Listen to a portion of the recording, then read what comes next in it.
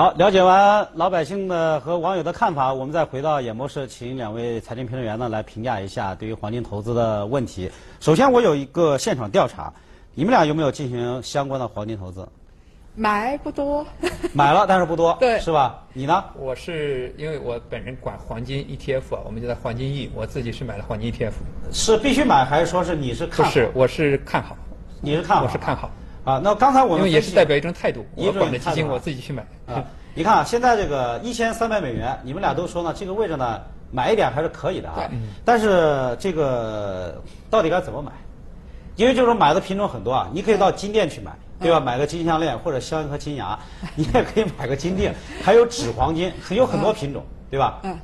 哎，我们首先要分成两类啊。啊。第一类就是说，呃，它完全是投机品种。其实刚才是徐老徐老师说的那个是投机的，你知道吧？啊。就是你比如说买纸黄金、买黄金期货，那个东西不交割的，你就是高抛低吸，然后跟买股票其实没什么区别的，只不过它变成了黄金而已。另外一种呢是比较老实的做法，是投资对冲风险投资的做法。你比如说，呃。买个金牙。他对买个金牙。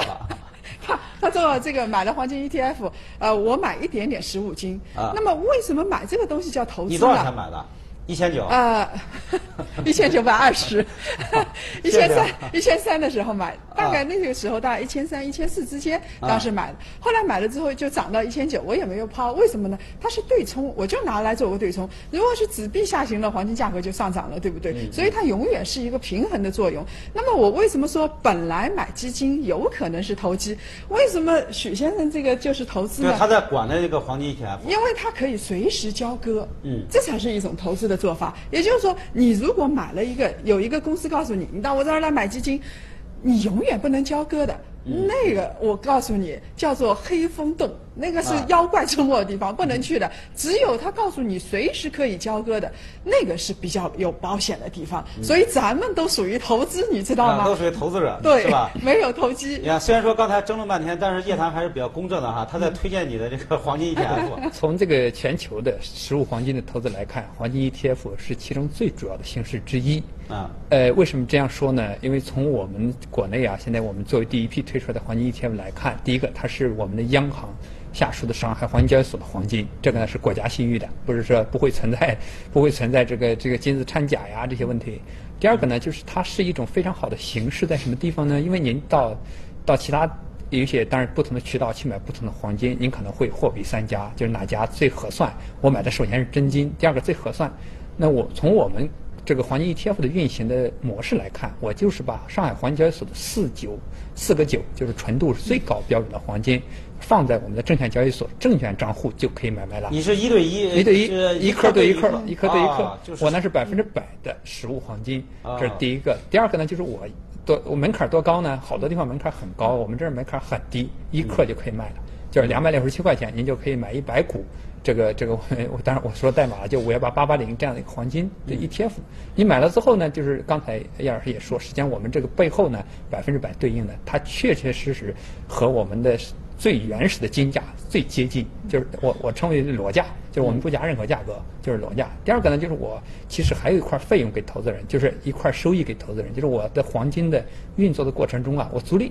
嗯，百分之三十左右租给下游企业、加工企业，这个利息收入啊，全部贴补给投资人。嗯，我全年的管理费只有零点五，所以它是一种非常便宜的方式。就是我也没有增加。不能再说，再说变成了 我看你啊，更大方。这个不能打住，打住，这个打住，不能再介绍了。对，这个呃。刚才提到的就是黄金 ETF，包括这个黄金的这个纸黄金，实际上都是一种投资方式。其其实我想说的是，就是黄金分成两大类，一类是实物金，它对冲风险的；另外一类呢是类似于期货市场，它是一个它不是有实物金的，它是一个虚拟的金融产品。对，虚拟金融那个商品属性是不是更浓？啊，那个完全不是那个货币属性是不是更浓？对，那个完全是一种期货产品。这样，我简单介绍一下，国内实际上有三个市场：上海黄金交易所。然后呢，还有期货交易所，当然还有现在新增加的上海证券交易所的 ETF。就是说，期货交易所实际上它是一种期货品种。期货品种我们有几个特征啊？第一个，当然投资、交易、投机都有，是吧？就是我们的价格发现功能各方面都有。就是上海黄金交易所它也有，呃，就是说延期交割品种，它有一定的杠杆。就是这里面呢，适合多元化投资者，就有投资者有需求，有有有，譬如他有杠杆需求，譬如他有做空需求，譬如他有实物需求。就是我们刚才提到的上海证券交易所这个 ETF 是百是标准化的，就实物需求就是这样的。就是投资人因为需求也是多元。的，其实回过头来说，我们再说实物金啊，你比如说有金银币。有首饰，然后有金条、金锭啊。到底该买哪一个？其实看大家不同的需要。你这个金条金锭，你就是一个最老实的人，就买在那儿放在那儿，它中间加工费用是没有的。但是你如果是买首饰的话，请大家注意啊！现在你比如说这个呃交易所的是两百六十七块钱，但是在市场上你如果是买首饰的话，就是每克三百多块钱，因为它中间有加工费用啊，它必须人工成本很高。艺术啊，各方面。对呀，还有租店啊，是吧？对呀，你买的是艺术啊，你买的不是黄金啊。对不对？嗯，所以说，如果是从呃保值的角度来看，应该是去交易所买。买这个实物的这个金锭，或者说买买这个黄金 ETF，也不能这么说。就是说，如果这个你买的首饰确实是这个雕工非常好，是这个大师作品，就像景德镇瓷器一样，那它也值钱。那是五百年以后了，对不对？那作为文物它是值钱的，是吧？现在关键问题是很难。那金银币的话就非常难说。为什么？大家可以想象一下咱们的邮票，以前稍微好一点的邮票，然后就大规模的发行，金银币同样也是如此。主要主要取决于这个央行的信用。如果他说哟，这是金币值钱的，然后央行大规模的发这个金币，完蛋了。对，一样完蛋。对，所以呢，你看这个这里面啊，就是说有一个问题。我们前段时间就是中国大妈这个支持国家建设，然后抢购黄金的时候，大部分听说大部分买的，比如到金店去买，有买这个金锭的，还有一部分人就是买这个金饰品。那么金饰品从保值这个角度来讲，是不是第一就变现的渠道不太好？另外变现的时候会会打折扣的。呃，从投资的角度来讲，就是说，呃，目前来讲，实际上从全球的数据来看呀，就是可能有百分之二十到三十的投资人买黄金，就是新增加的这些投资人是属于这个投资的。投资的，我们的建议呢，还是去买这种这种更更容易变现的。然后呢，加工费用相对比较低的，就是金饰品，它最大的好处就给就刚才叶老师说的，给人带来美感，就是给给你送人，然后带来一些呃这个这个幸福的感受。我觉得从这个角度才是偏艺术一点。然后真要投资，我觉得还是相对理性一点，去买实物金锭或者刚才我说的 ETF 都是很好的形式。就是您如果是金饰品或者实物金锭，因为你想把它变现的时候，确实还是需要一定的费用。这个呢，也是行业内都是都是通用的做法。但刚才我说的 ETF，实际上你就在证券账户里就是操作就行了。嗯，还是在推荐自己，还是在说自己。所以我觉得，客观一点评价。我客观一点评价，你如果要结婚什么买点这个金首饰是可以的，但是你如果是作为投资用，我建议这个咱们就直截了当买金条或者金元宝。嗯，买金条或者买金元宝。对，而且最好是交易费用最低的那些东西。那也就是金直接买这些商品，或者说买这个 ETF 是交易费用最低的。呃呃，相对来说是这样子。我这徐老师在边上，我就不好说 ETF 了，到时候再说。啊，那实际上对于如果是这样来判断的话呢，那个刚才两位也分析了，你看是几种几种交易的形式，可能各取所需吧。各取所需。可能每个人的这个需求和这个爱好不一样。投资人是多元。哎，那么现在价格是一千三百三十七美元左右，到底是在这个位置上就可以买，还是说再等一等？比如说跌穿一千三之后才是一个很好的买点？这个两位怎么评价？我觉得从长期来看的话，这个呃部位也不高。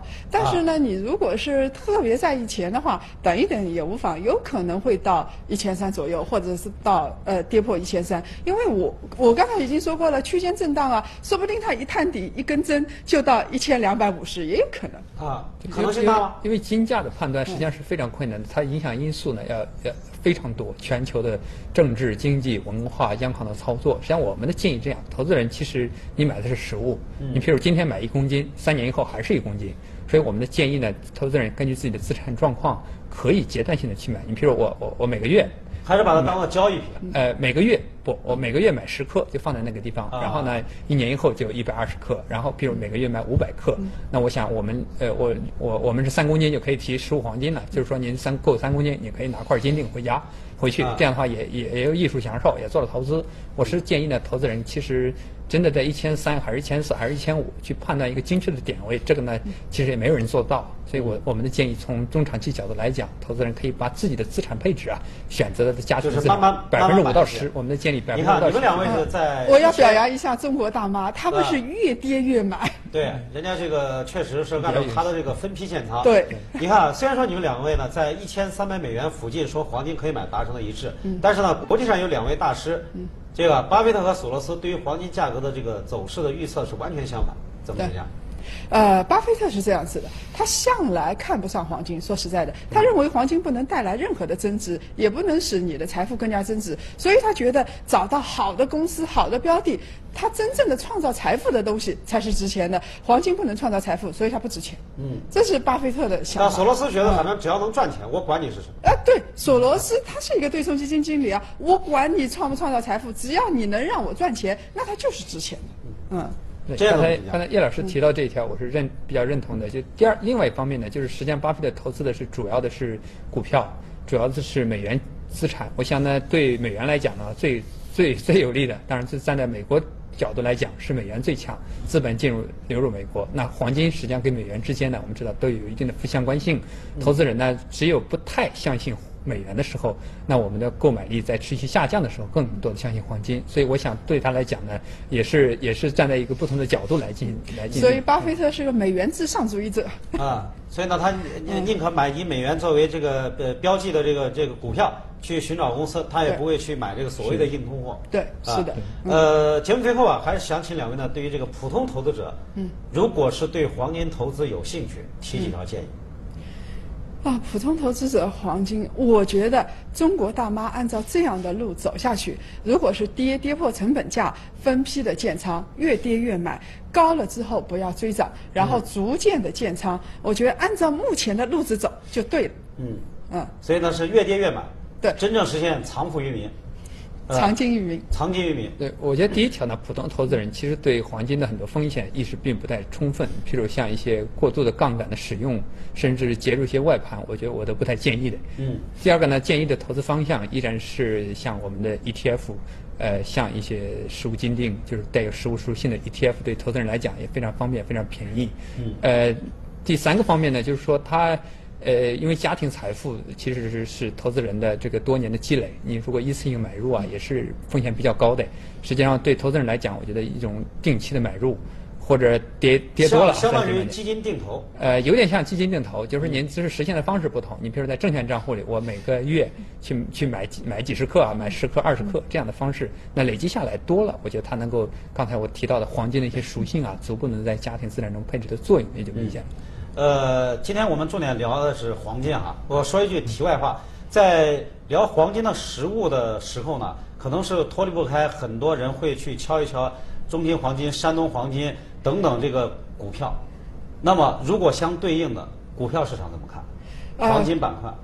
股票市场跟黄金的实物市场是不对应的，不对应，就是说它每次有一个提前上涨的，大概会提前几年有一个提前上涨的一个周期，然后它涨了之后才是实物金涨，实物金涨的时候，股票黄金股基本上是不涨。